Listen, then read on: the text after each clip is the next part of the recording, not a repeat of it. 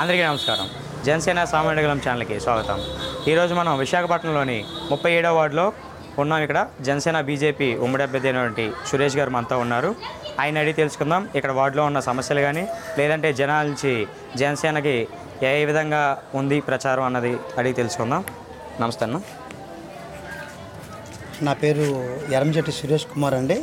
నేను ముప్పై ఏడో వార్డు జనసేన కార్పొరేటర్ అభ్యర్థిని.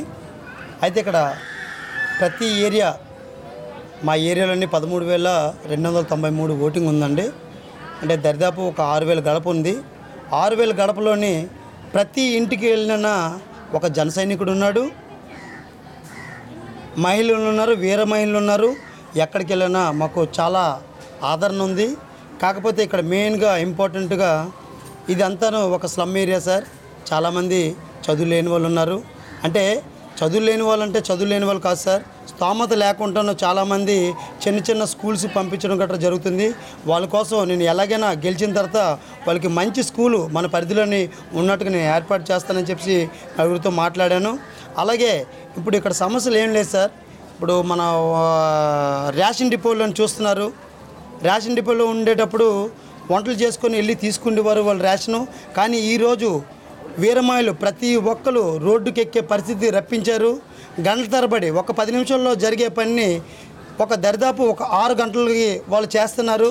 వాళ్ళ ధీమా ఒకటే ఒక ఐదు వందలతోనే ఐదు సంవత్సరాలు ఏలాలనే ఒక భావంతో ఉన్నారు.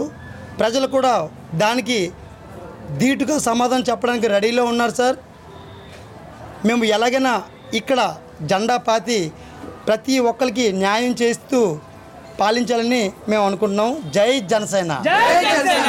ప్రజా ప్రజల నుంచి స్పందన ఎలాగుందండి జనసేన పార్టీకి. సార్ చాలా చాలా చాలా బాగుంది. అంటే ఇప్పుడు ప్రతి ఒక్కరు చెప్తున్నాం కదా సార్ అదే చెప్తున్నాను ఇప్పుడు. ఆరు వేల గడపకి ప్రతి ఒక్క ఇంట్లోనూ ఒక జన సైనికుడు ఉన్నాడు సార్. మార్పును కోరుతున్నారు. ఏ మహిళ అడిగినా మాకు మార్పు కావాలి. ఈరోజు పదివేలు అమ్మ ఒడి వేస్తున్నారు ముప్పై వేలు మా నాన్నగారు జోబులో తీసిస్తున్నారు సార్. అలాంటి దానికి మేము ఇప్పుడు నమ్మము. మా లాక్డౌన్ మాకు బాగా బుద్ధి చెప్పింది. ఓటేసి మా అంతలు మేమే రోడ్డు ఎక్కే పరిస్థితి మేము రప్పించుకున్నాం.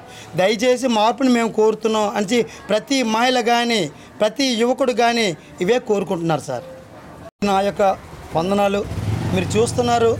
ఇప్పుడు వైసీపీ వైఖరి కానీ టీడీపీ వైఖరి కానీ ఎలాగుందో చూస్తున్నారు. దయచేసి ఈ పదో తారీఖున మనం ధీటుగా వాళ్ళకి సమాధానం చెప్పాలంటే గాజు గ్లాస్ గుర్తు ఓటేసి మనం అఖండ విజయంతో సాధించాలని చెప్పేసి కోరుతున్నాను. జై జనసేన! జై జనసేన!